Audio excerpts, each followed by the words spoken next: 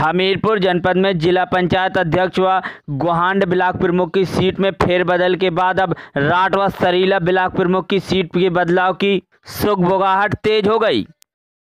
आज ब्लॉक प्रमुख नीता यादव के अविश्वास प्रस्ताव के समर्थन में इकतालीस बीडीसी सदस्यों ने जिलाधिकारी मधोदय के सक्षम अविश्वास प्रस्ताव पेश किया, जहाँ पर चंद कुमारी पत्नी दृकपाल राजपूत बरहारा के नेतृत्व में इकतालीस बीटीसी जिलाधिकारी के सक्षम पहुँचे।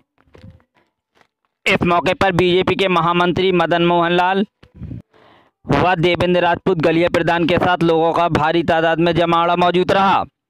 हमीरपुर से यूपी ट्वेंटी फोर न्यूज़ के लिए नेहा वर्मा की रिपोर्ट।